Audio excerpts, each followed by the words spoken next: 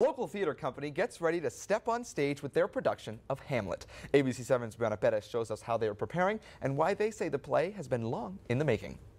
Let not thy mother lose her prayers, Hamlet. I pray. There's nothing like actually seeing people perform live right in front of you. We've got one chance to get it right, and you're seeing it as we go. Rehearsals underway. Actors with Shakespeare on the Rocks Theater Company excited to celebrate its 32nd season with their production of Hamlet. Many say it's been long in the making. Uh, the last time we did it was 11 or 12 years ago, and it's a show that I'm really passionate about. And so uh, we've been struggling for the last two years trying to put it together, and we finally got a director, a full cast. With the company trying to get back on their feet post pandemic, they say it hasn't been easy, but they're pushing through.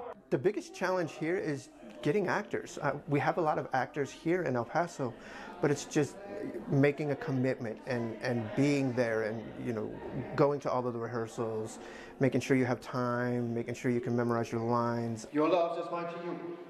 Farewell. My lord, the king, your father. With the help of Old Sheepdog Brewery, the production will kick off April 12th.